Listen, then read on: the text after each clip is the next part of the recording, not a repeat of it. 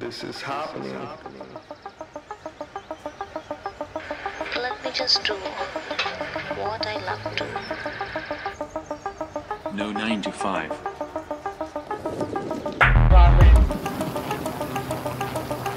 Eat that frog. You gotta work hard. Risk comes from not knowing what you are doing.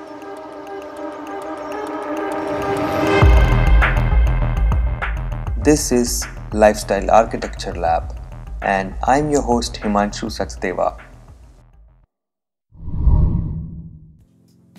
Hello, guys. Welcome to another episode of Lifestyle Architecture Lab. In this show, I talk about lifestyle design, financial freedom, and also dissect the process, behavior, and routines of the personalities who have designed a lifestyle of freedom for themselves. These guests range from artists, musicians, entrepreneurs, lifestyle coaches, investors, professional athletes, etc. These conversations dig deep into their stories to find out their thought process, tools, strategies, and tricks that makes them tick. In this episode, I'm talking to Aditya Shroff, popularly known through his blog as the 5am guy, who is also an author of the book The Best Life Ever. He's also a competitive runner and frequently gets podium positions in various running races. He leads quite a simple but interesting life at a farm in a village in Gujarat. After doing his engineering from Mumbai, he got a high paying job in Germany but eventually dropped that job and came back to India to work on his passion, which is writing. In this conversation, we cover a wide variety of topics how he took the brave decision to drop the job and work on his passion and live on a farm, his creative process while writing the book, how he got the book published and even got a forward from a celebrity who he didn't directly know, how someone who has a passion can convert it into a profession. All of this and much, much more in this episode. So, without further ado, please enjoy this conversation with Aditya Shroff. Hey Aditya, welcome to the show. Thank you so much for having me here. It's a it's a pleasure to be here with you. Yeah, it's my pleasure as well. So uh, there are a lot of directions um, uh, where I want to uh, go with this conversation, but uh, let's start with one of your short stories, Right. uh, which is the little things. Correct. A couple of years back, when I was uh, uh, reading uh, one of your blog posts named "Little Things," I started to love your writing and the storytelling style as well. So it was just a short story, but I I could feel it that way. It was written from the heart. So Right. so that that is why I started loving your writing style as well. And since then I've been following you, and I was happily surprised when I saw your first book, uh, "The Best Life Ever," published, um, which which was published earlier this year, right? Right, right. And in uh, April. yeah, now as we are recording this podcast, um, so your book has already become a bestseller. So congratulations for that. Thank you so much. Thank Yeah. you so much. So, uh, how has your journey from starting uh, that short, writing that short story, uh, and now that you have written a book and published it, how has that journey been? Can you take us through your journey? Sure. So um, I think you know, nature is a wonderful teacher, Mhm. and nobody teaches better than nature. Yeah. If if you're perceptive to the little things that nature gives you, and for me, it's always been about the little things in life. I have always focused more on the little joys. I don't know, it's probably how I grew up, it's probably my upbringing, and I am thankful for it. But it's always such things that make me happy or make me sad. And it's, I've always grown up with, with nature, grown up in nature, and grown up surrounded by nature. And um, so that's how it all started. You know, I grew up on this farm. And to, to talk about this particular story, Mm-hmm. It happened the little things that it was a story about a boy who was saving earthworms on the road Yeah, yeah. it was a beautiful experience that i had and somehow uh, when i write something it just makes me you know uh, think about it in a better way It makes me analyze that particular beautiful instance which happened. Right. That's how I started writing to get clarity from the experiences around me. Because um, again, it's just a very little thing. Getting clarity of thought. It's such a small thing, right, in life. yeah. But for me, that is what matters a lot. And so I started writing about. So that was actually the second or the third story that I had written. Mm-hmm. And then I, by the time I was working on a blog that was called the 5 a.m. guy. We'll probably talk about it later. Yeah, sure. Um, so I happened to, you know, publish it on that blog, and uh, it happened to be picked up by Eleven Asia, which is a Singapore-based magazine. yeah, I uh, remember that. yes, a, a lifestyle magazine, and they uh, asked me if I would be, you know, willing to give the rights for them to publish the story. And I was delighted. I mean, I was obviously happy, Yeah. and I. Um, so that's how the publishing scene started for me, and it was the story was really liked, and and I went on to write. So every little experience that happened after that, I began to uh, write about it because it gave me, again, like I said, clarity of thought, made me a, a more grateful person. Mhm. So I started writing little by little, and then I, you know, a couple of friends told me that probably you can put all of this together in a in a book. Mhm. And so the initial idea was to write 42 such real life stories. All right. To Why 42? I think uh, a lot of runners would agree with the number 42 Ah, because it's 42 marathon. kilometers of a full marathon. So one Yeah, yeah. kilometer for for each, uh, one story for each kilometer. Mm-hmm. That was the initial idea. But then for a debut author like me, like you know, it would become a very big book, a fat book, like a 700 page book is not yeah. something that people would pick up would you know from especially if it comes from a debut author whose name hasn't been heard yet Yeah. so then um, the idea was to split it into two parts like say a half marathon each Okay. 21 stories 21, 21. yes and that was still coming out to a lot of uh, you know pages Bulk three, size. yeah, Yeah. Mm-hmm. 350 pages so uh, then we further decided to pick 13 best out of the 21 stories Mm-hmm. in fact out of the 42 stories Okay. and make a book and the best life ever is just that it's it's a collection of 13 real life stories which i happen to live on the farm running around on the farm and um, life lessons from each of those wonderful experiences Wow. So, can you describe um, when you were experiencing that? So, in real life, you might have experienced that earthworm collecting boy, right? right So, can you describe what happened exactly at that day and uh, how did it hit your heart and mind to write that story? you know just your question gives me goosebumps right now because it was such a beautiful moment See, you know when i i am used to running at 5 in the morning Yeah, that's when that's I, why that's why the name of the Yeah. blog is the 5 a.m. guy, of course. Yeah, yeah. So I, uh, so this particular day was extremely, um, you know, rainy. There was a thunderstorm, and it was pouring. It was literally, and especially you know when you're in the countryside, you really feel the rain Yeah. because in the city, It's hard it's- rain. Yes. In city, it's not very yes, hard. city Yeah. rain is absolutely different, and I think in Bombay or in a, in a big city, you never really hear the thunder or, or you know see the lightning, and there it Rarely, is Yeah. it's like the house is going to fall down today. And today is the last day for the house you know it's it's that terrible. Yeah. it was such such a terrible morning and there was a thunderstorm and i just so for me it's you know just a pre-decided rule. I just have to go and run there's even if it's you know it's raining it's winter it's it's summer it doesn't matter i mean that's how i have uh, made myself to be But how how do you like keep yourself uh, like going at 5 a.m. every day? You have to because I also sometimes I decide uh, yeah now on I will be going at 5 a.m. Uh, for a run, Right. But- And then the next day I'm like snoozing in and Yeah, sleeping in. So what makes you like it's get probably out of the bed? it's probably a matter of habit that's Mm-hmm. one thing and when you um, you know when you're living so close to nature you start working along those lines you start following the rules that nature sets for you because Mm-hmm. on the farm it's morning at 5 a.m when, when it's bright and it's night at 9 p.m. when it's dark, or probably earlier. So you gotta sleep at that time. Yeah, I mean, the, the- you don't. So city life is obviously different. It's a little hard on somebody who wants to wake up at five in the morning. So that's. Uh, I'm, I don't blame you if you you know snooze off at five. yeah. But yeah, so it's just how things are in the Right. countryside. So it was pouring and it was just you know there was thunder and lightning and I just decided I'll anyway go for a run.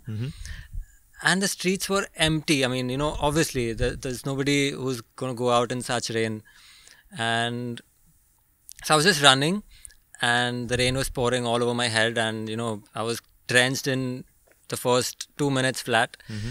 And far in the distance on, on the road, I saw this young boy, and he was doing something. So since there was nobody else on the on the road, I was like, I mean, what is this boy doing here? Why is he here at this hour and at such a time when it's raining so much? Yeah. And I went closer to him, and he was collecting earthworms because all along the road there were earthworms from the fields nearby, Yeah. flattened by the passing vehicles, and some were, you know, wriggling, so trying to survive. And this boy, he was collecting earthworms and putting them back in the field, mm-hmm. like one earthworm after the other on a stick, and it was pouring, and he was drenched, he was cold. and Still, he was on his yeah, job. he was just on his job. So I'm like, what are you doing? Like, why are you doing this? And he said, my mom told me, my mother always tells me, you know, earthworms, they make the land fertile. So my father would have to work. So his father was a farmer, like a poor farmer. Mm-hmm. My father would have to work less harder. You know, if the soil is fertile, if I put all the earthworms in the in the land in the soil, it's going to make my soil fertile. And I almost laughed at him because how many earthworms would he be able to save? You know, how much of a difference would he be able to make? Right. So I told him, they're like, you know, hundreds and thousands of earthworms on this road. How many are you going to save? Like, you are such a small boy and you'll probably spend the next whole week, but you won't be able to, you know, Save make a everyone. difference to, yeah, all of the earthworms. Mm-hmm.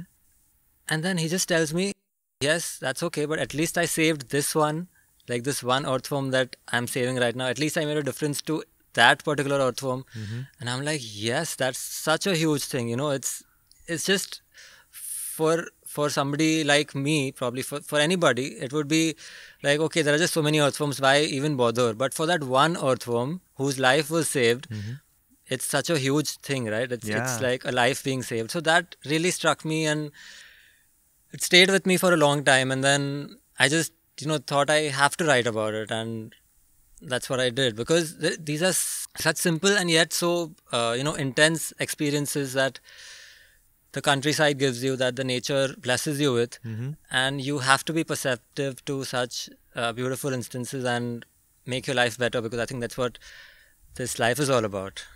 Wow. That's an amazing story. So, Yeah. did you write immediately after that experience? I mean, the same day, or like, No, did no. you wait for some time and then it came to you that I have to write this? Yeah, so the instance uh, kept playing over and over in my head, and I went and told my mother about it. I went and told my friends about it, Mm-hmm. and because I was so influenced by that, you know, that incident, and a couple of days later, probably, I think I just, uh, you know, thought I really want to write about it, and that's what I did.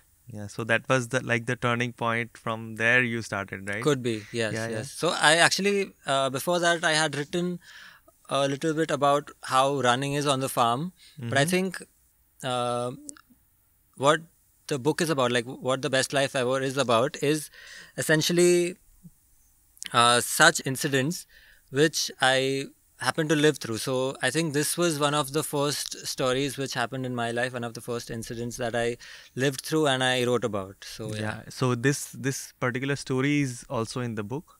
Is it? no, I. It's not in the book Yeah. because it has been published already by Eleven Asia. Yeah. So uh, yeah, of course. So the rights are with them, so you could not publish. Right, that. right, Otherwise, you would have probably. I would have. Yes. Yeah. It's one of the nicest stories that I have lived through. Wow, that's amazing. And I finished uh, one chapter of your book also. Like Oh, you uh, did? in the last week. I I bought the book and then I read first chapter and I'm going through it and I'm enjoying it. I'm like taking it slow to read the stories. I think that's uh, the best life ever is best read at your own pace. Yeah. uh, you know in leisure and you don't have to have an aim of finishing it in two days because that's not fun Yeah, and and you know uh, it is pretty visual the way you have written the book. Yeah. Uh, the first chapter itself, when I was reading it, when I was reading the first page itself, I was able to. I had to visualize that because you are telling the story from the first person perspective, and Yes. you are writing as if you are living the moment. yes right So that's why I was able to visualize it, and you have written uh, the lady which with whom you were yeah living. the host right Yeah, the host, and she has given you the map, and I was able to visualize the map, and Right. she has written go left, and so Right, right. she has given the direction. So it was really great how visually you have uh, Yeah, so tried you- to conceptualize the book and correct. written so it. you've been a good reader because that's essentially what i uh, wanted while i was writing that the reader should uh, be me like as if you know the reader is living through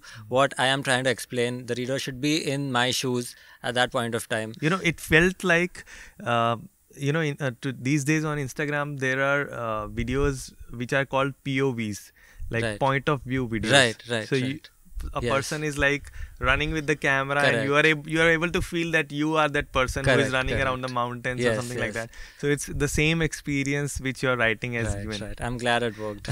Yeah.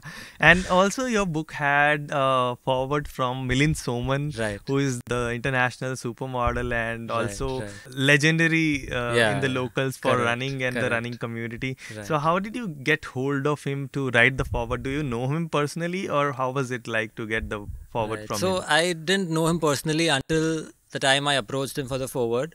Mhm. and um, so when i was writing it was first for myself. It was essentially for myself. But i realized if it has to reach some people i have to uh, you know take help of some uh, channel such as forward from a celebrity. Yeah. Because obviously i mean i would i would really like it if more people get inspired by stories that i got inspired by.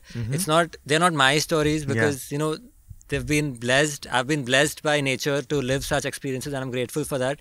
But i would also like other people to get blessed with such experiences and i wanted the book to reach as many people as possible and so i decided to approach some um, celebrity or some you know influential person who could uh, you know provide a better channel for the book to get publicized. Yeah and so then Milind Soman was the first uh, person who came to my mind because he he's himself a very ardent runner. Yeah. And he's very well versed in the running community. And these stories are all essentially around running. Yeah so getting to him was a big i would say challenge. So i sent the manuscript to him first for him to go through but as you know celebrities they hardly have uh, time to you know interact with uh, individuals. So uh, obviously he didn't get back to me and he probably didn't have time to read through it. And then uh, this was with uh, through through a contact who knew him personally. Hmm and then i so then we decided i'll probably send him a voice message requesting him to write the forward Mm-hmm. and send him one just one chapter of the book. Yeah so if he likes that chapter he'd probably you know agree to write the forward so that's when i sent him a little voice message you know uh, requesting him to help me out and request and you know telling him ex- essentially what the book is about and Yeah. why i wanted to reach people yeah. and why i want people to get inspired by it. Right. And uh, I sent the first chapter along with it, and this is exactly what he said. You know, what he told me uh, that you could actually you know visualize the entire yeah. uh, event, the events, the, the flow of events, the situation that you were in while reading. That was exactly what he told me, and then he really liked it, and he said, "Okay, sure, I'll write the forward for the book." And yeah, so that's how it happened. Wow. And um, everything in the universe just falls into place and somehow something or the other works out. Yeah so the the crux is never settle yeah, until you get right. there. That's right. Yes yes. Just make a decision and decide what you want and you'll get it that's what i believe in Wow, that's amazing. So, uh, apart from being a young writer, you have chosen a very different life path. As from academic perspective, you are an engineer, but you chose to give up a lucrative job and came back from Germany to uh, live your life in a farm basically or a village. So being close to nature and uh, doing farming as well, what made you make that uh, decision and choice, and how do you put your engineering skills at work now? Right. So um, I have always grown up on this farm that I live on. Mm-hmm.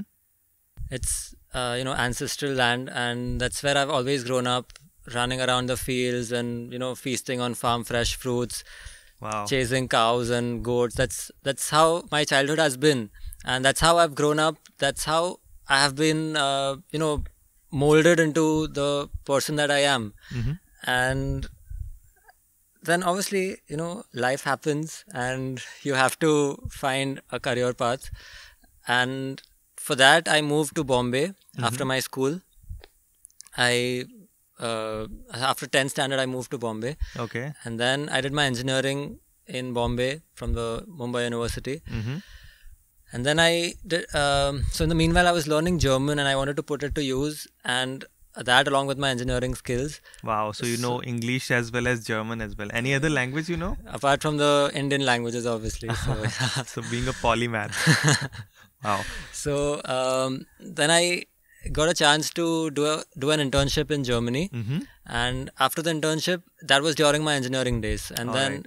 they liked my work and they offered me a job after I was done with college, Mm-hmm. Which I took up initially, and I was working there, and I realized all I'm doing in life is working and trying to make money, and this is just what I don't want. I mean, it's not it's you know it's very cliche it's so cliched i don't even want to say it you know it's Yeah. because everyone says life is not just about money Yeah. but i mean i have to say it because that's how i felt and i wasn't really growing as a person as a human being In the nine to five job. yes and one engineer like thousands of others Yeah. and there was no uh, fun in life Mhm. and that wasn't really what i was looking forward to and this i wouldn't really say but one of the reasons why i decided to leave germany was there was very little sun Oh, and it's very cold in Germany, right? yes All and most of the times it's cloudy and gray and gloomy weather.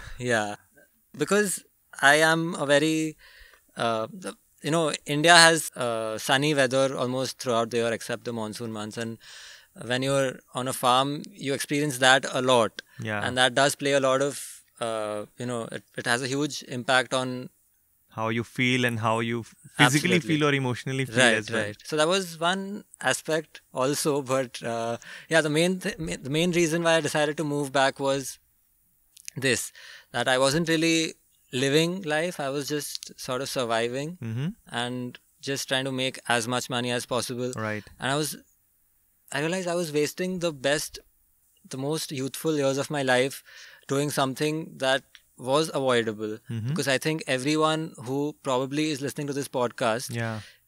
they have secured food on their on their plate at least Right. they have uh, you know a roof over their head they have clothes on their body and if you are still after something so crazily Mhm. i mean it's it's obviously important to make money but at the expense of not living a life it's something crazy. It's something that is lethal. So i gave it a lot of thought and then it wasn't one fine day but over a couple of weeks i decided okay this is it. I'm just uh, moving back to the farm and because that that is the life that is going to make me grow as a person Mm-hmm. and I'll be able to I'll probably not earn as much but I'll be able I'll be happier that's what I thought So, and so sorry to cut you here. So you came up with a very interesting thing that you uh, decided over the uh, couple of weeks, not exactly a day. right But uh, for a lot of listeners who might be listening to this and they also want to get out of the nine to five kind of rut. correct So, what things led you to uh, eventually uh, give up that job and give you such kind of braveness, uh, so to Yeah, speak, yeah. uh, that you were able to switch out of it? And uh, because not not a lot of people are like having such resources to Hmm. not do the job uh, to get the money from there and eventually moved to the passion so was there any passion involved for you as well because probably you might have the money but there should be some reason for you to switch out of it and do something else which you really like right Right, right. So um, it was. I was just coming to that. You know, it was one of the most difficult decisions of my life, mm-hmm. and it was in a way a little, uh, you know, not very well planned. Mm-hmm. because I mean, I really wouldn't uh, encourage somebody to just give up the job, yeah. But you gradually uh, grow out of it Yeah. once your passion takes over and once you can start making a living out of your passion. Yeah. The thing is you have to make time for it. You have to make time for your passion. And you know a lot of people i know they all want to you know they tell me okay if i wouldn't be doing this job i'd be doing this. But it doesn't work that way. You know if you're passionate about it you are already supposed to be doing what you yeah. want to do. Of course. And you can't be like you know if i didn't have this job if i had the money i would you know just leave the job and do something else. It doesn't work that way. And then you just uh, someday start blaming luck. You don't have to blame your job. Mm-hmm.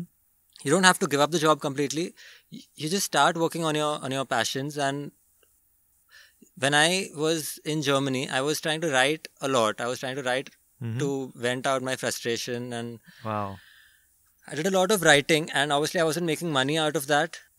but you're having fun writing that right I mean, Yes. some frustration might be out but eventually you were writing some kind of stories there as well Yes, mostly mostly something like a diary. yeah That made me think better. It made me feel better because I was mostly very lonely there because I didn't have a lot of friends. yeah Um, the other thing was I was talking about the fact that it's not you know you, you can't just give up a job and uh, jump into your passion or Yeah. blame the job for keeping you away from your passion if you are true to yourself and if you really want that thing to happen yeah you should have started already along Right. with the with the job i think that's how it works yeah and uh, because I mean that does involve a lot of hard work, right? I mean you have to make time for it, which means you probably get lesser amount of sleep. You get, you have to compromise on your social uh, activities. yeah of course I mean that goes without saying, and Yeah. people don't want to do that, and then they blame the job for keeping them away from their passion. So uh, I think True, they're not true. passionate enough, or uh, they like like the money a lot more than they like their passion. So I think it's either one of those. And a lot of people say, okay, uh, I don't need so much money, Mm-hmm. and I'd be willing to settle for something lesser and follow my passion yeah but they don't really mean it. They because like I said, you know, it was the hardest decision of my life to move away from a European salary and go to india in a an- village and yes, live there Yes, and you can imagine what kind of money I would earn if you know I was in a small village. yeah So it was obviously a huge difference, and a lot of people don't want to. They say they want to, but they don't really mean it, and they don't really want to, uh, you know, settle for something lesser and follow a passion. So I think the problem is with us, and if we can solve that problem, then Yeah, I mean, there should be a driving force uh, which actually can keep you awake in nights, not literally, but essentially. So, uh, if you really want to write, or maybe you want to paint, or something like that, Right. any of your passion you have, so you have to uh, be consistent with it, and you have to put in the time, put in the effort on every day basis, or every week you have to put your work out to Right. expose yourself right, and just uh, from the first hand experience also i am also like i'm doing a full time job right now Yes. but podcast and blogging and like creating videos or content Right. creation overall. So that is kind of my passion and where i feel i should be doing better. Right. so ev- every day i'm doing something for Yes, that and every week i'm trying to put out a podcast. So so from that perspective also i can say yeah you are truly speaking. Uh, people don't actually realize uh, Yes, that right, they right. are not putting their passion above than uh, their money Right, right. And this is essentially why I'm having this conversation with you because the first time we met, I saw that passion in you to go out on a Sunday morning and, Yeah. you know, uh, not let sleep or the rain or the travel uh, be more difficult than uh, Yeah, yeah. your passion and you put your passion first and in spite of having a 9 to 5 job Mm-hmm. you're trying to make time for this using your own resources Yeah, yeah, yeah, yeah. so that's a big thing and that's how i like to meet such uh, inspiring people like you because they inspire me to keep going Oh, well, thank you. And I'm inspired by you also and Yeah. your writing. thank you so much i think course. it always works both ways Yeah, true, true. And uh, as I was also talking about your engineering, can you also put some perspective on uh, what are you doing with your engineering skills right now? So I think uh, like all engineers would agree with this that engineering is done so you know what you don't want to do. what not to do exactly? yeah, exactly. No jokes apart. So when I decided to move back from uh, Germany, I had this vague idea of what I would fall back on, hmm and that was my. Uh, so my father and my uncle were running this age-old business and manufacturing steel castings. Steel castings. Yes. Okay. So it was a foundry, and I mean, you know, it was a declining business, and they were hardly making a lot of money. And I, with all my engineering skills, decided to, you know, land up in such a uh, business or a soup, if you can call it. so uh, that was a big decision for me, but I was willing to settle for that for the, you know, For the uh, for greater the- good. yeah you can say that because i would you know in that particular uh, place get time for my passions and uh, what i really want to do So it was also like a, in a similar way you were doing something uh, with your engineering skills and as well earn money and Yes. side by side do your passion as well. yes yeah? yes right so Mhm. um, i was working with a family bu- business and that gave me time to work a little more on my passions and my uh, like what really mattered to me in life Mhm. and that's how i currently put my engineering skills to use wow, that's amazing. And uh, dialing back a little, as you spent your childhood in your father's farm, as you mentioned earlier, right so can you talk more about how your family uh, nurtured you and influenced you to become the person you are today? I think everything that I am today, um, it's because of my upbringing, and I'm, you know, beyond grateful for how I have been brought up by my parents. It's all about the circumstances, right? I mean, you know, it's kind of how you've grown up, and I was extremely lucky to have been in this uh, beautiful place surrounded by nature and, uh, you know, brought up by such amazing parents. I think everything that I have done so far, ev- whatever uh, little successes I've had, it's all because of uh, the kind of upbringing that I've had. So, uh, and you know, I really can't take any amount of credit. Like, you know, I just can't take credit for even the book that I've written because it isn't me who's written it, it's nature who's inspired it, and I've just been uh, an instrument in the process. And Wow. it's just, uh, you know, come that that way. Do you believe in muse?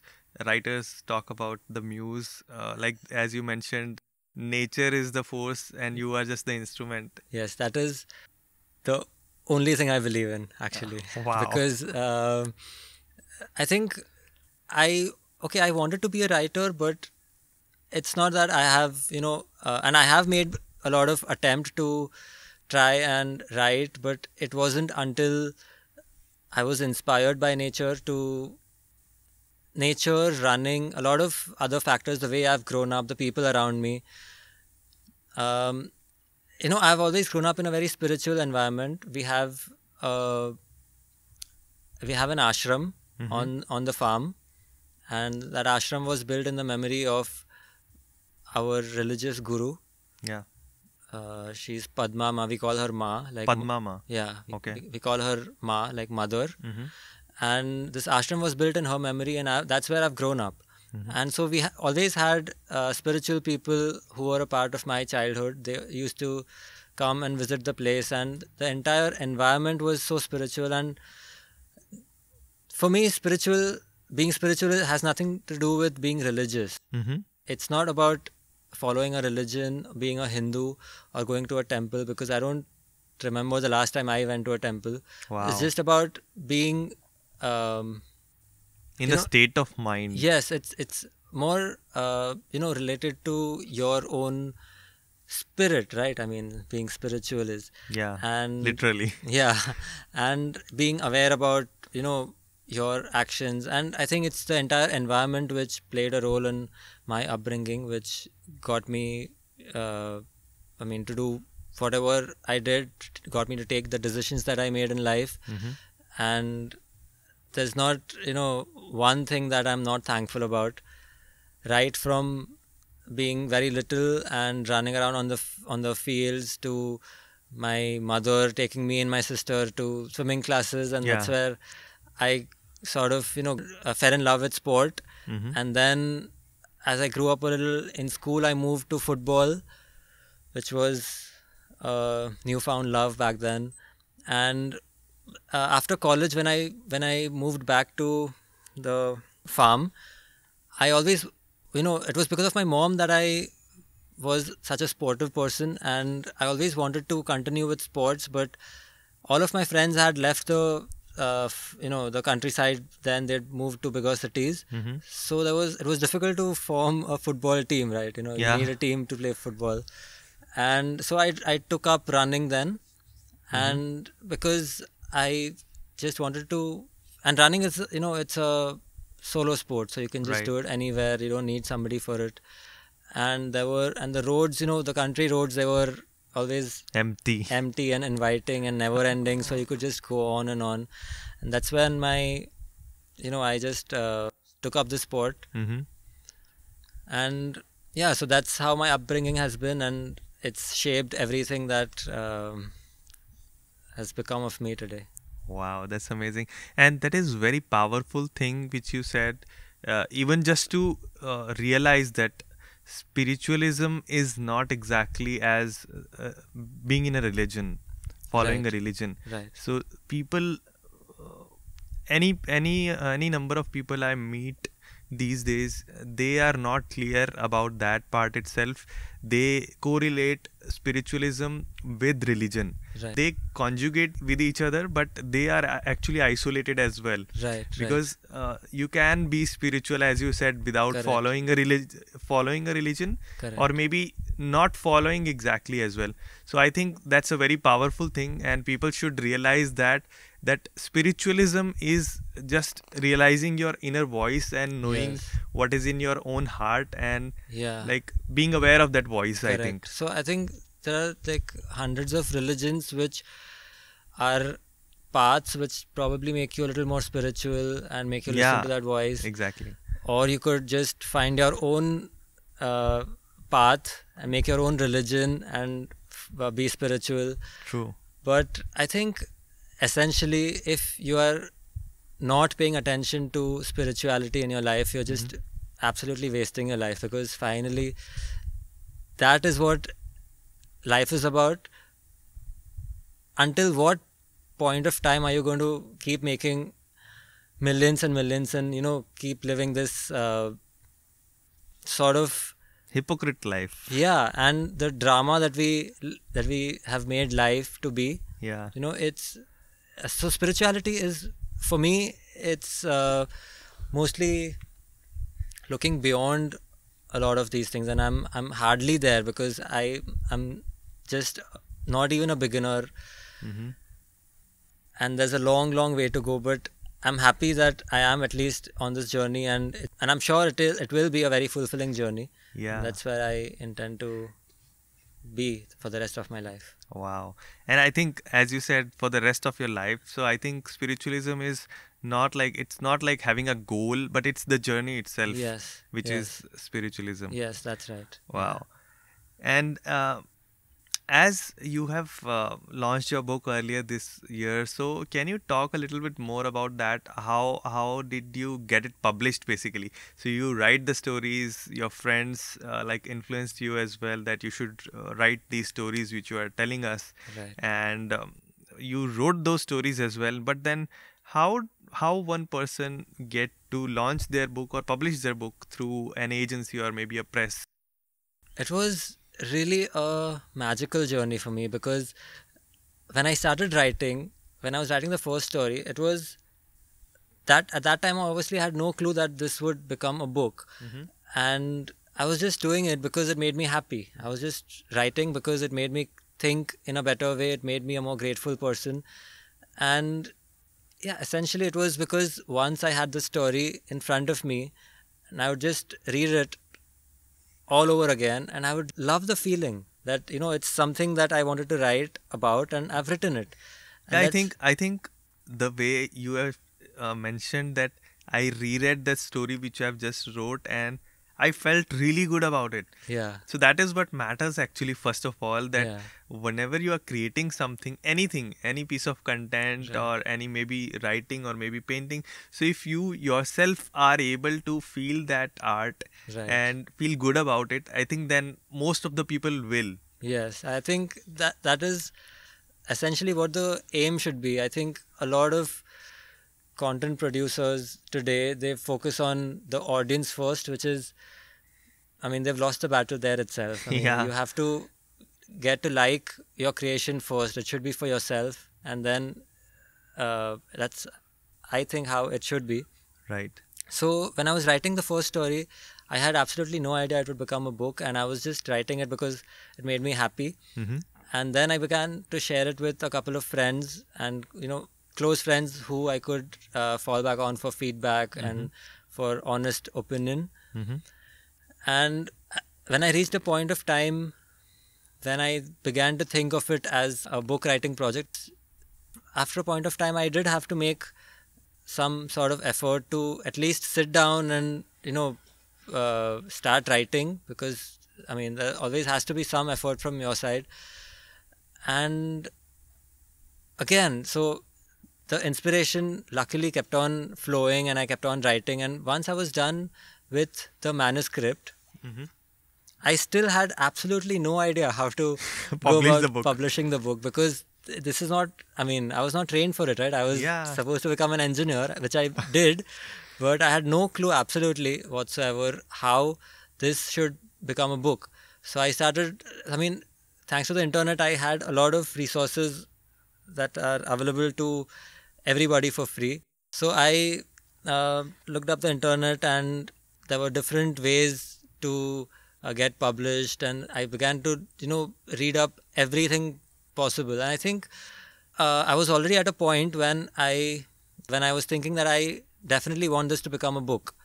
So by the time I was writing for the book. I was you know clear in my head that I really want this book to be published.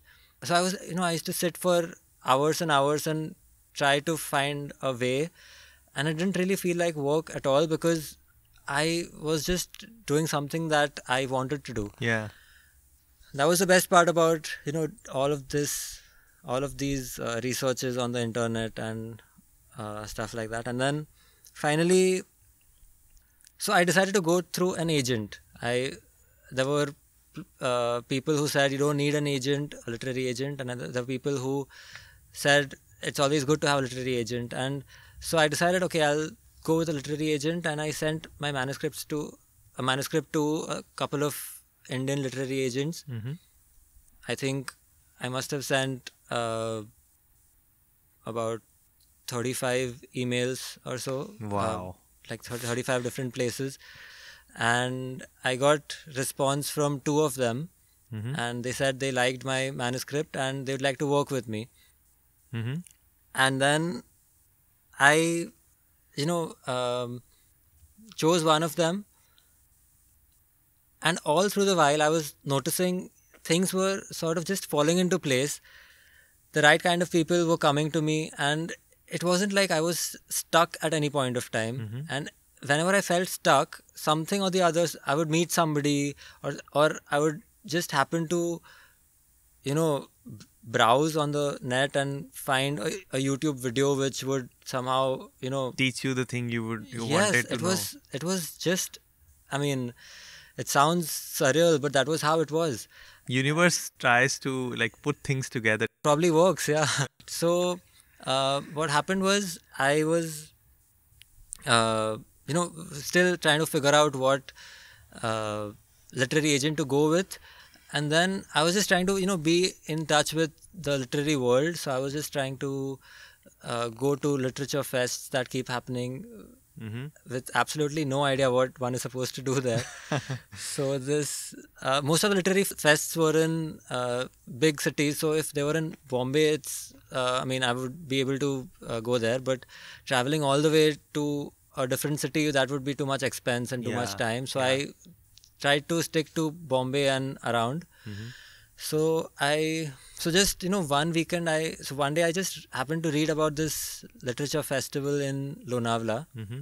and I told one friend of mine it's I mean I don't know what we'll do there but let's just go Yeah. because we can just go there for the weekend and attend the literary fest and if not we'll just enjoy the it was during August or something so it was you know raining and it was beautiful Lonavala is a nice place to be in Yeah. in the monsoon so I thought we'll just enjoy a weekend and we come back Yeah. and so I just happened to go there, and I just happened to meet my current literary agent there. So that's Wow. how that's how it happened. You know, uh, the person I signed up with, I met that person at the uh, Lonavala Lit Fest.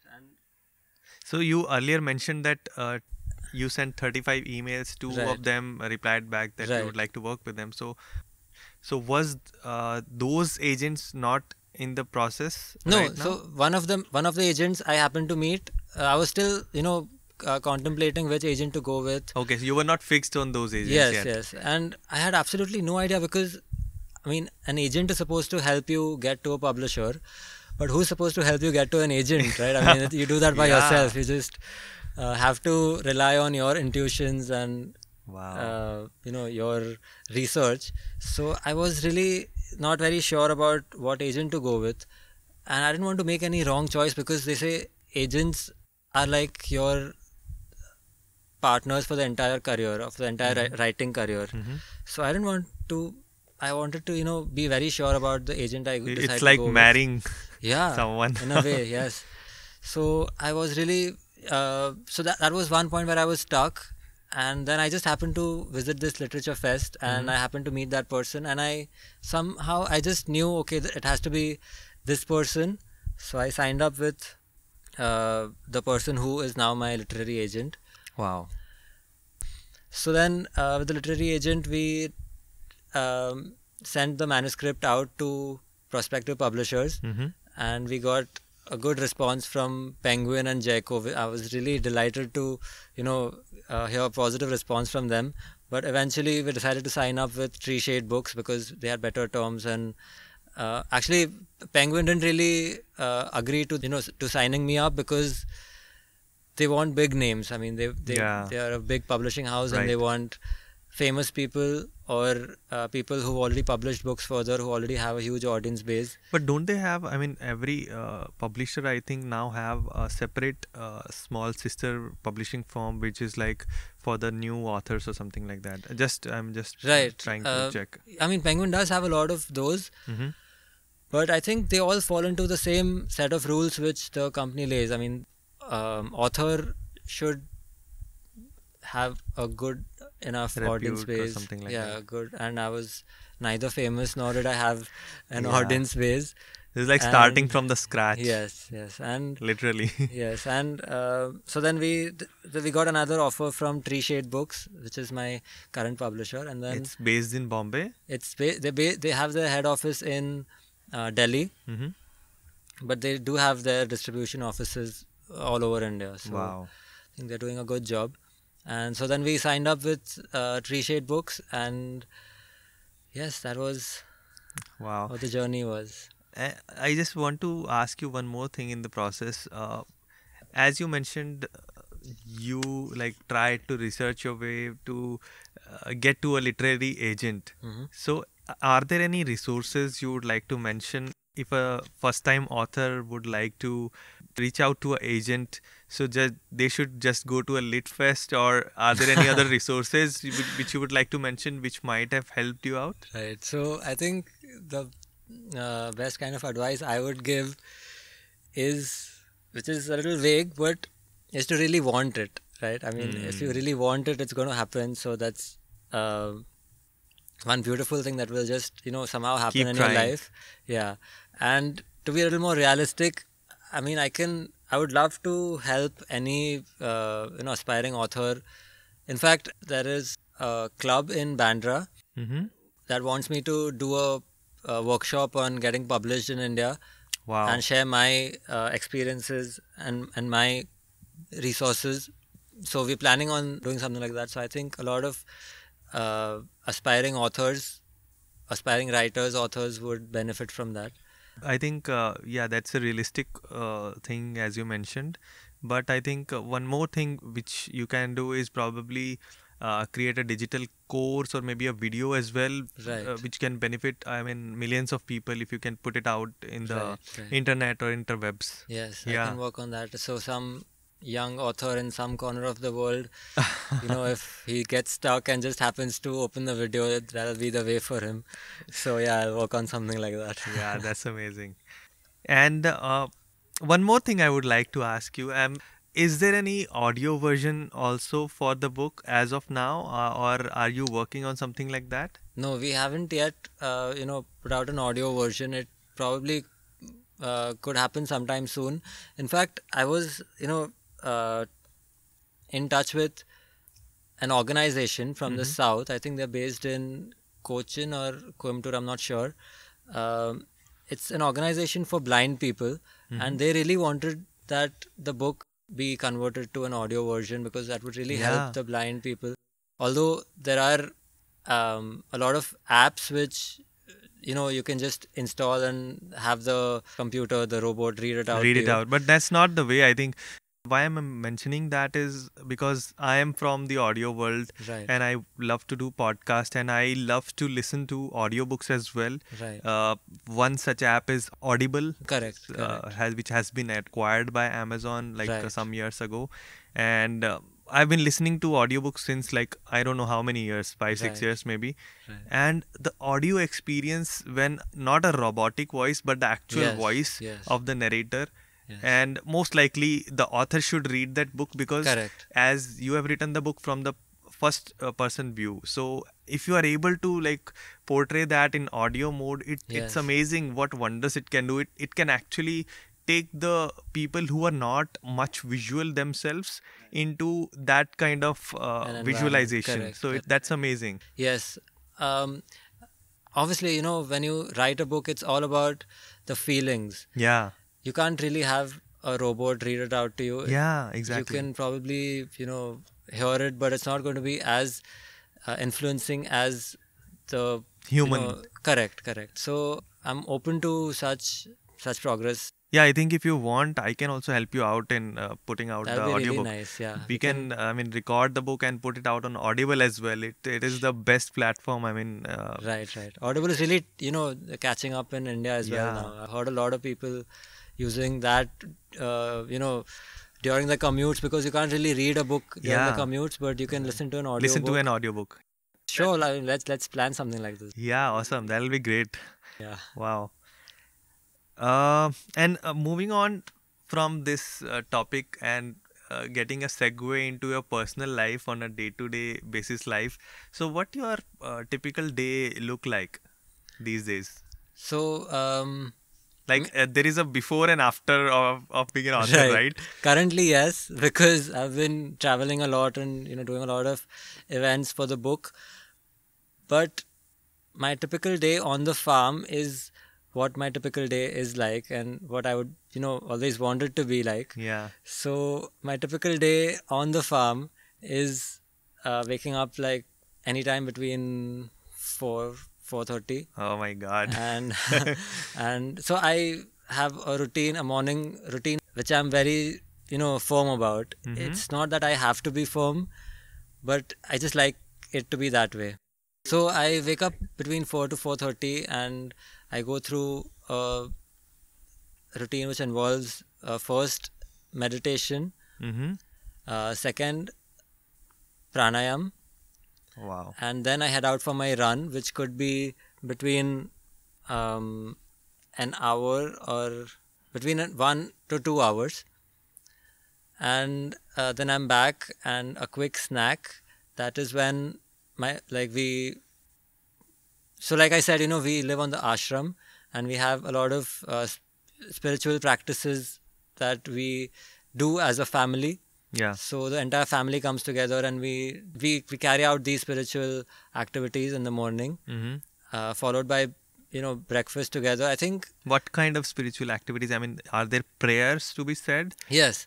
So my mother, uh, she does puja and she says prayers and we do aarti like a typical uh, Hindu family would ideally do.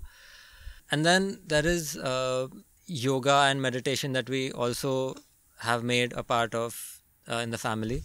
So we do that's what we do together. And then uh, breakfast. I think a lot of how I've been molded is mainly also because we've lived together in the family and done a lot of things together in the family, be it a simple meal or such spiritual activities together hmm and uh, that's what that is one thing that i attribute a lot of things in my life too. So uh, so then we have breakfast and then um, i you know i'm either on the on the fields on the farm because we grow uh, mangoes and coconuts Mangoes, wow. yeah. Yeah we have about 2000 mango trees and 2000 coconut trees. Wow. so That's we do that commercially. Hmm and so I, that needs to be taken care of. I Mhm. mean some management work that needs to be done there hmm and then i need to be on the on the factory where we manufacture these steel castings Okay.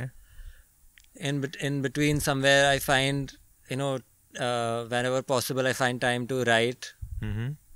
So you write in office as well. So you have, yes you have made a room or something like that to sit out and no write. i would ideally you know uh, want that but i write on the go i mean sometimes i'm i'm scribbling in a notepad or i am writing down ideas on my mobile phone So do you carry a pocket book or something like that? no no i usually you know if i am out and i want to write something if i have some ideas i just note it down on my mobile on a, Yeah. on a you know That's convenient. yeah and uh, when i'm at home i'm usually writing you know either in a notebook or on the laptop it depends So like from there you are finding time to write and then you are in the factory. So like what after that? In the evening you so uh, yeah so then lunch and i i'm a firm believer in napping in the afternoon Ah wow nice. so afternoon nap is you know always the best and so i nap for a bit in the afternoon and then followed by uh, i mean you know it's a very irregular day that usually spans out only once you are in the day so you can't really plan an entire day forward Right, because right. it's not something that you have to uh, keep doing it's not like a set pattern Mm-hmm. ever i think that's the fun part right I Yeah, you don't really the have- uncertainty. correct you don't really have a plan in front of you but you just see how the day Yeah. you know spans out and so there could be times when i have to you know visit urgently i mean you know run rush to the farm because probably some uh, thieves have entered somewhere and Ah, they need to be driven happens? out yeah all the time wow. Or if everything is calm and everything is okay then i'm sitting and writing. Hmm or uh, so the good part is the farm the factory the ashram and our house everything is on the same piece of land. Wow. so that's the So you don't have to commute. yeah i think that's one big blessing that i have. Hmm and um, so evenings so once uh, all of the workers are done for the day farm workers have no, after five they don't work anymore. And then i usually go out for a walk with my mom. Hmm and or it could be a run or she cycles and i walk or hmm something like that. And post that we have dinner. And ideally before sleeping i uh, tend to meditate a little bit because i find myself sleeping much better waking up much fresher if i've meditated the previous night so i do that and then i'm in bed Wow. That, like down by 9:30 or maybe around that time, right? yeah around that time So y- you avoid screens or mobile phones like uh, around that time? Yes. So you know, I I never watch TV because I think not that I don't have I have something against TV, but I really don't have the time to. I mean, it's better to just take a walk in the farm than watch TV. That's and in Mm-hmm. But then, how do you uh, get a feed of news uh, from around the world and what is happening? Yeah, so I do, you know, go through the newspapers a little bit, so that's Uh-huh. how. And then I I try to keep away from social media as much as possible. In fact, you know, I just had a just uh, two weeks back, my Facebook and Instagram accounts got hacked.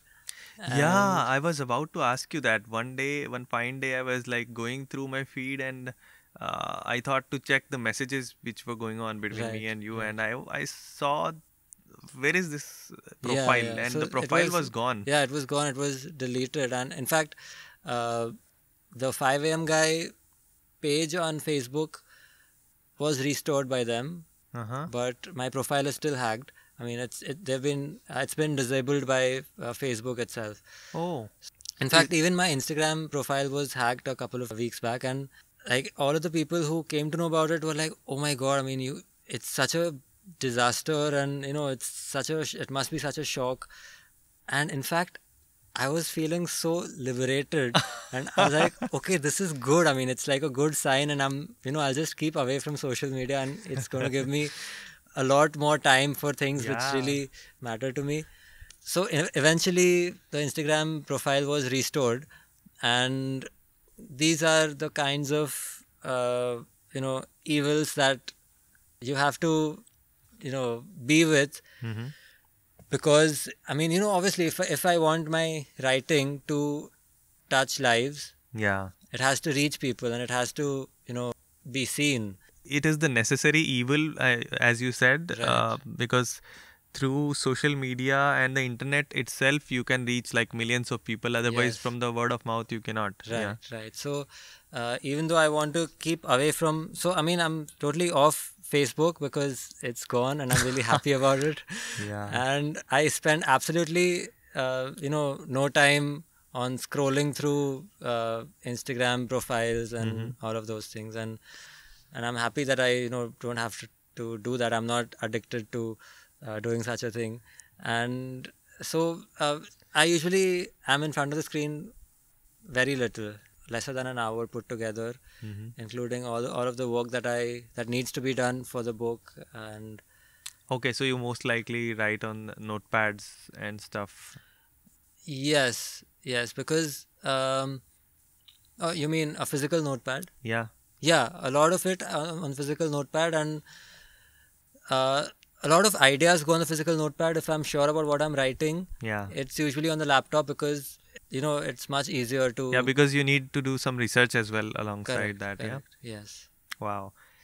Awesome. And uh, as you as you described your typical day so how do you plan your meals uh, like because you are a runner and you know the value of nutrition right right so how do you plan your meals uh, and what kind of things you eat throughout the day can you share a little bit more about that Yeah. So um, diet for me is uh, it's not really a diet. I tend to eat when I'm really hungry, and it's always this fight between the mind and temptation. yeah So I just even when I'm snacking, I just try to stick to foods which make sense to me, foods that I understand. Like when you, for example, when you just f- get something from the market, something that's packaged, you don't really know what has gone into the food, and uh, when you just you know peel open a banana, you know it's a banana and you're eating a banana. So I try to stick to foods which I understand,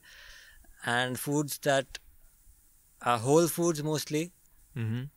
not lot of- processed foods Yes, a lot of uh, fruits and vegetables because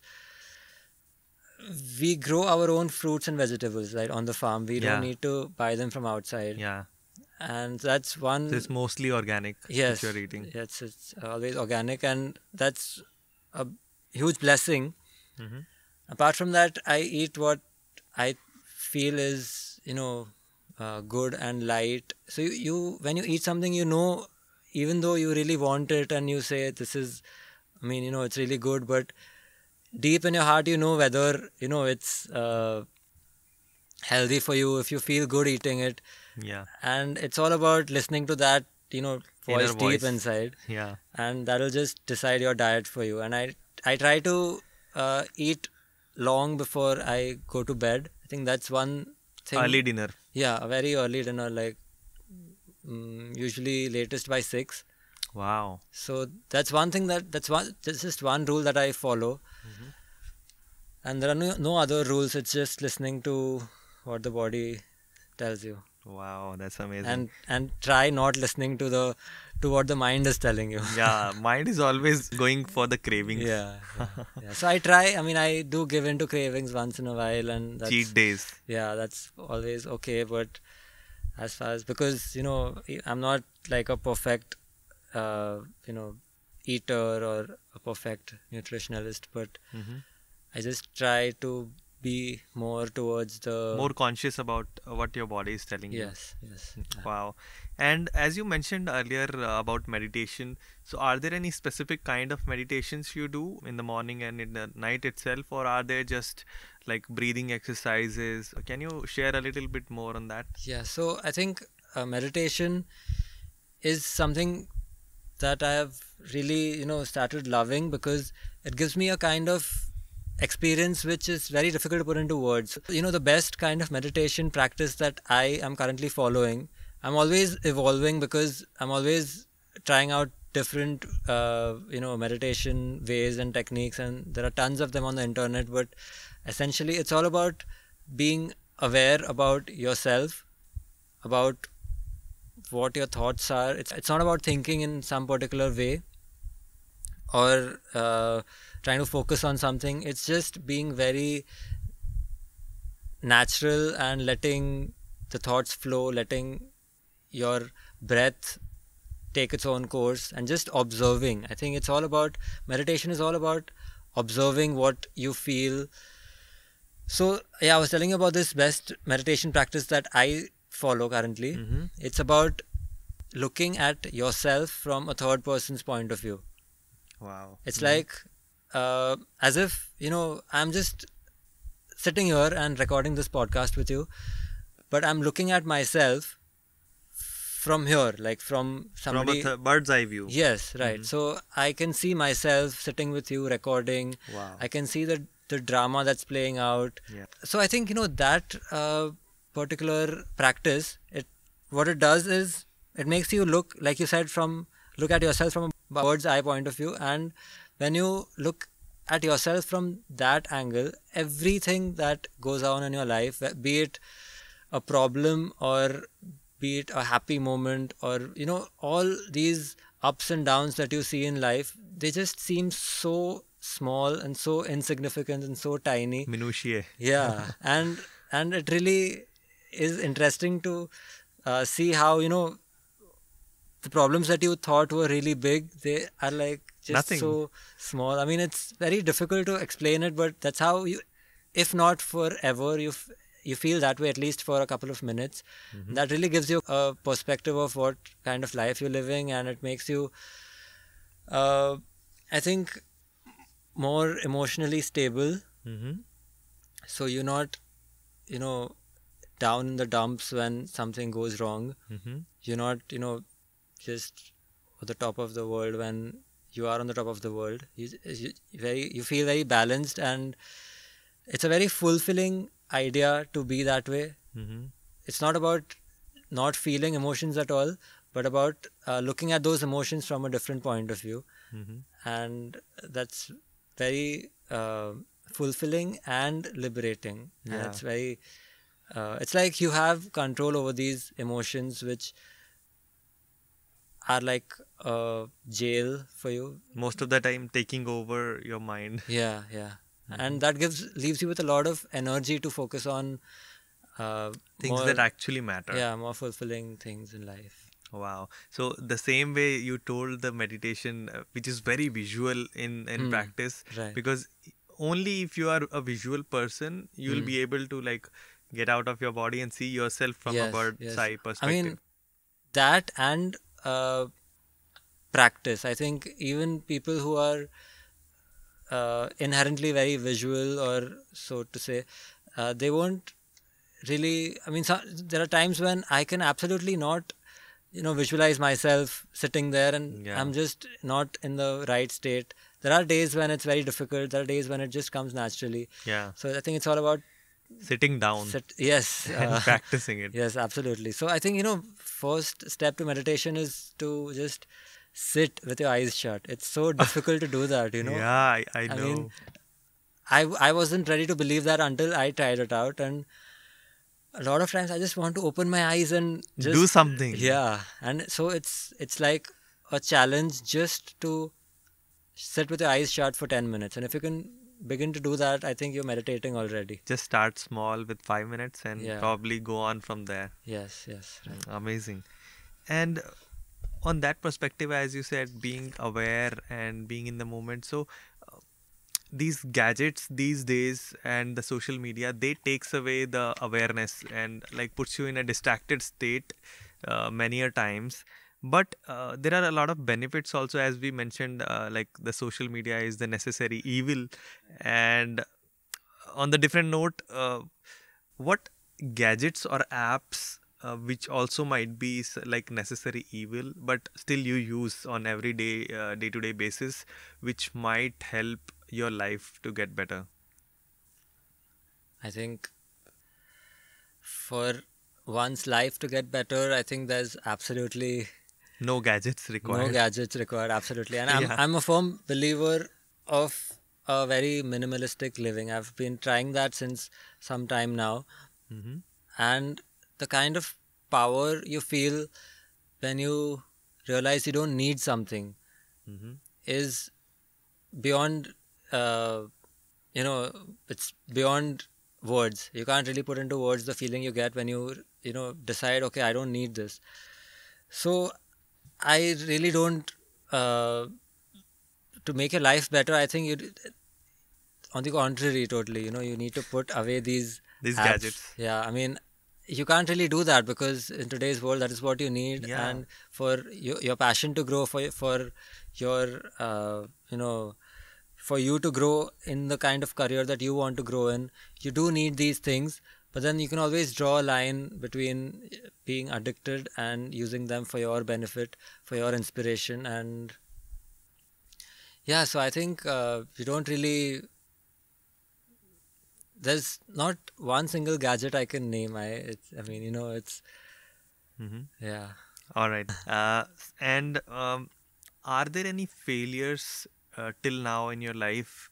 And any of those failures uh, it might be a like one of your favorite failures so to speak uh, which might have uh, been a stepping stone in the success of your journey Yes, yes. I mean, there have been failures all my life, and I am really so grateful for all of those events which played out because it was because of you know those uh, events, and I never really.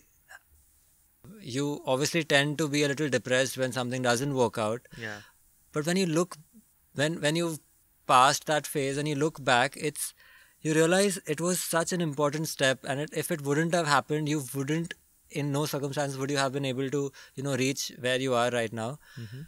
so um, i think if i can think of, okay so you know when i was um, in sixth standard the idea of first uh, you know writing a book came to me. I wanted to become a writer become an author. And that's when i started writing a book that was inspired by uh, james and the giant peach by roald dahl.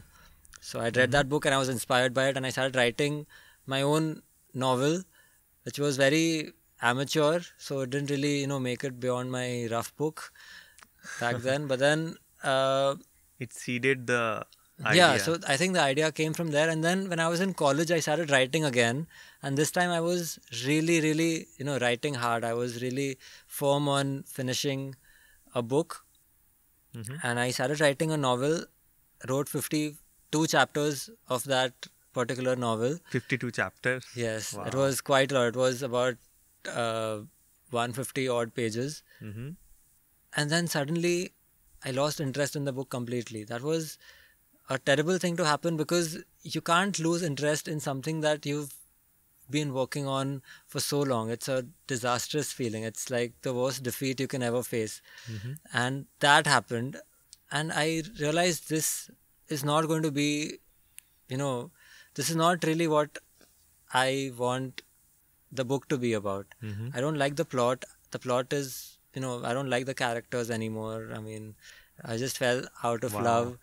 And, um, you know, it just slipped out. It was a dream which I really wanted, I was looking forward to fulfilling, but it didn't really work out. And so, uh, a couple of years after that, this book came out, and I realized what I learned from that particular failure was that I wasn't being myself in, in the book.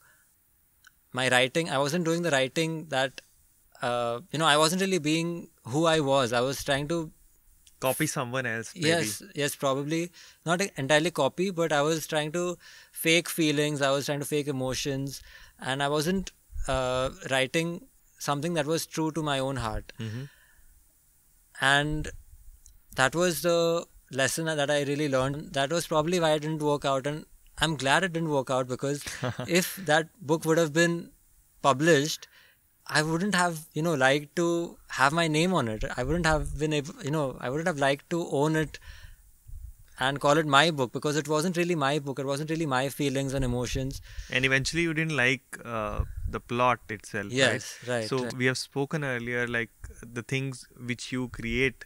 First of all, you should like that yourself, exactly. right? Coming back to where we began. Square one. So yeah, so then the book that I uh, wrote, like the best life ever, Mm-hmm. the kind of happiness I got when I finished that book, you know, when I had the manuscript in front of me, it happened because I was, you know, uh, being true to myself and being true to my feelings and emotions. And that is what really, you know, that's what, that's one big lesson which I'd learned from the previous failure. So, Wow. This is the third book probably you've written, right? Uh, but the earlier two were not not realized. yes, if you count those two, yeah, the third Wow. one. Yeah. So you learn from your mistakes and then you step into another stone and then there is the success. Yes. So I think, you know, it's uh, always advisable. I won't really call it an advice, but people say, and it's again very cliched, that you should look at failures like, you know, they are something to help you. And it's not just that. Look at the entire flow of life, every single event which happens in life, as something that is taking you forward, something that is helping you become who you want to be, even if it's just uh, it. It's not necessarily failure. It could be an hour or two which you thought could have been used in a more productive way, but somehow the circumstances were such that you happen to, you know, spend uh, one hour at the bus stop and just waste your entire hour. And you think, you know, you're just in a bad mood because you just had to do that. It was raining and you couldn't, you know, do anything else. If you use that, I mean, you know, even such uh, such an experience can inspire you in some way later in life. And if you take it positively and you know consider every single event, good or bad or neutral, in your life, and take it as something that is taking you forward to where you want to be, then Yeah. it definitely will. It will turn out to be that way, and you Yeah. look back and thank that little thing that happened in your life. Yeah, as as uh, exactly as you mentioned uh, about uh, like being on the bus stop, I recollect a very recent story. Uh, there is an article which I wrote some time ago Mhm. on depression actually Mhm. and anxiety, and I feel very uh, close to that topic because I've uh, been through uh, a bout of anxiety, and uh, as you mentioned, it's not a failure. I mean, it's just about the perspective. Uh, one fine day, I was like coming from the office and uh, I parked my vehicle in the parking lot and I was just waiting there to rain to stop so that I can go home from there. And it never stopped raining. And uh, I thought, what should I do now? Because there is a lot of traffic and there is a lot of uh, rain which is pouring in. So I just stopped at the nearby McDonald's and I sat there and I opened my laptop and I started writing that article, which is like trying to come out from a long time. Amazing. And I, Amazing. I I wrote like almost 1500 words. Wow. It's a long article. Wow. and it turns out to be really good and it was Right. from that moment that I, I i can yeah I, can totally relate to you that Right. as you would like to like uh, use your time it's totally up to you the failures uh, restrictions which like i couldn't go home Hmm. so i i tried to like make use out of that time so Right, that's what you have to do Yeah. So course. you know, my principle in life is always this. You know, either you win or you write. wow So it's always that, That- way. that know, should be a quote. yeah, so either something good is happening, or if something bad happens, you're gonna, you know, later write about it. you have to write about it Yeah. Amazing. And um, uh, coming to another crucial question, uh, can you name one person who has been a mentor to you, or maybe who has had a big impact on your life?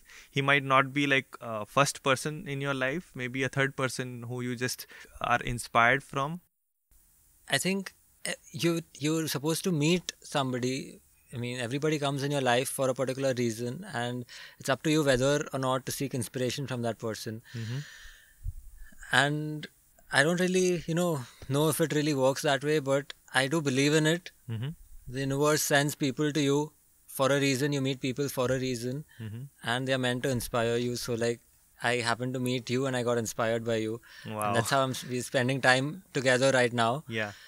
I think every single person who I meet, I don't really learn from everyone because I, you know, it's beyond me to uh, really look into that, the reason why the person is, you know, meeting me right, right there. But someday I hope to, you know, find inspiration and make everyone around me a role model because that's what is what this nature, what this uh, universe intends. So, like, uh, make everyone around you a mentor, uh, seek Yes. inspiration from them, right? Yes, yes. Not just everyone, but everything, every Mm-hmm. object. Yes. Wow. Like, first of all, you have to observe for that. Yeah. Yes, yes. I think it's all about how uh, observant you are, and there's everything that you need to be who you want to be, Mhm. be where you want to be. You just have to uh, be ready to observe and learn from it and make your way. Amazing. And uh, coming to another uh, fun question, what under 5000 rupees purchase uh, you have made recently which changed your life in a better way? Okay. Uh, what really changed my life under 5000 would be a pair of shoes and a pen. Wow. So, a pair of shoes and a pen. Yeah.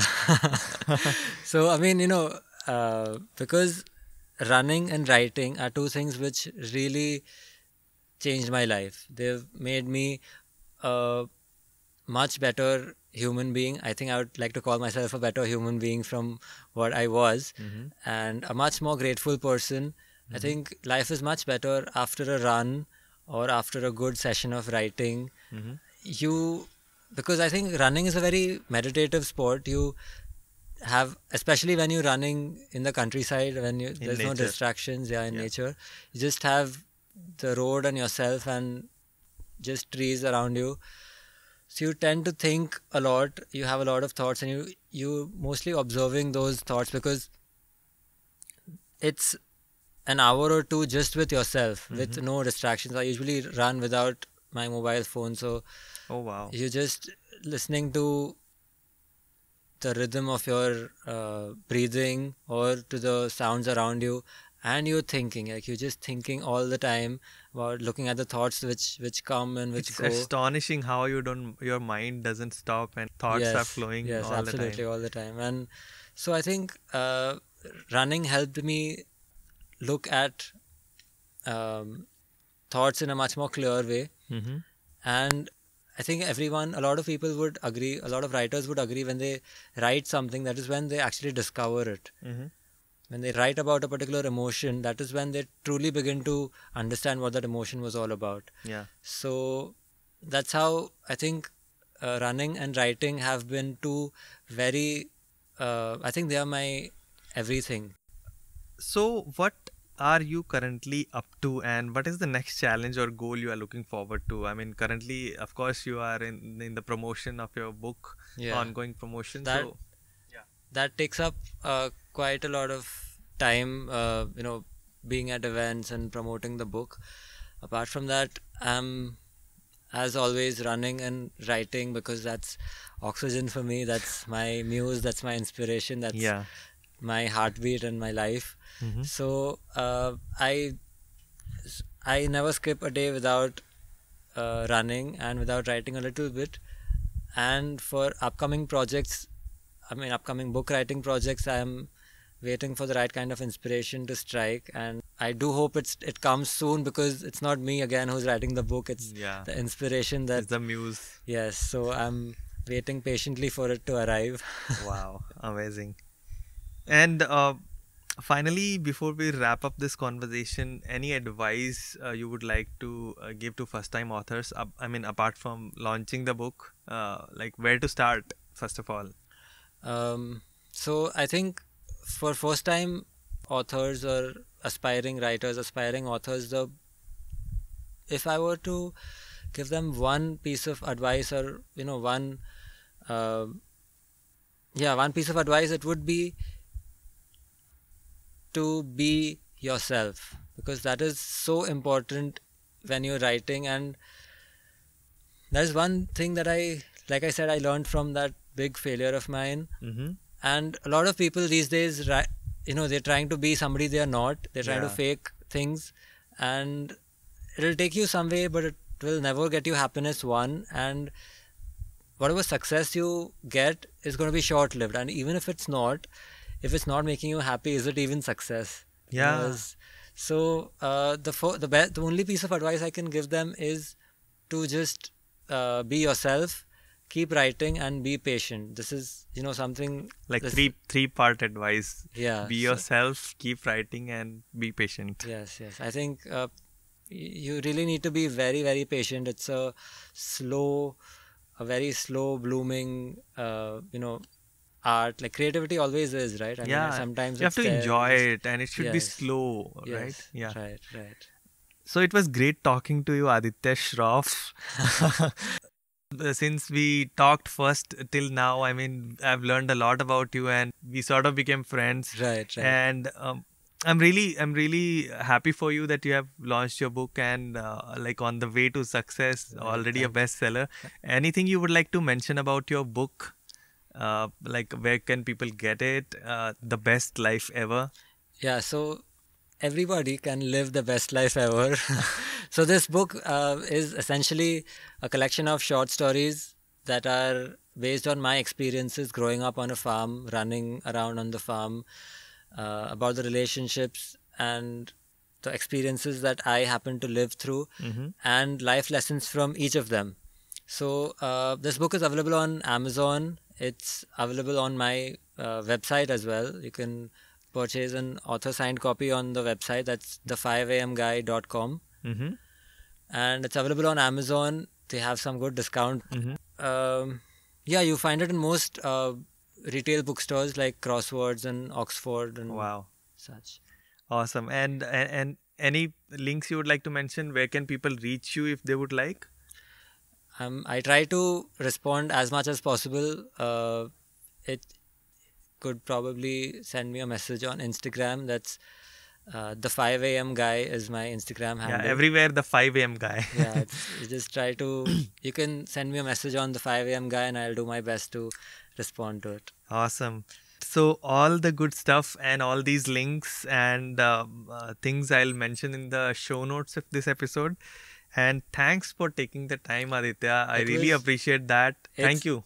Thank you, thank you so much because it's always a pleasure talking to somebody who's you know just as passionate as you are and passionate in the real sense. And I really enjoyed this conversation, just like I enjoyed the the first conversation we had, Yeah. you know, at a coffee shop yeah. A couple of weeks back. Yeah. And I really look forward to interacting more with you and you know doing projects together. It'll be really good. Yeah, I great. think on the audiobook we have yeah, to collaborate. We can do that. Definitely. Awesome, awesome. definitely. Great. Thank you so much for having me here. yeah, it's my pleasure. Thank you. Hey guys, this is Himanshu again. Now, before you move on, here's something I want to share with you. I have one weekly newsletter which is called Saturday Pentacle.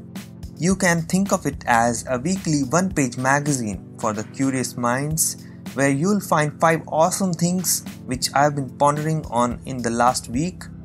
It may contain popular articles, blogs, photographs, Instagram posts, books, videos, products, or thoughts. It's completely free. If you want to get it, just go to himanshusachdeva.com. That's my name, himanshusachdeva.com, and drop in your email. You'll get the very next one. I hope you enjoy it and thank you for listening.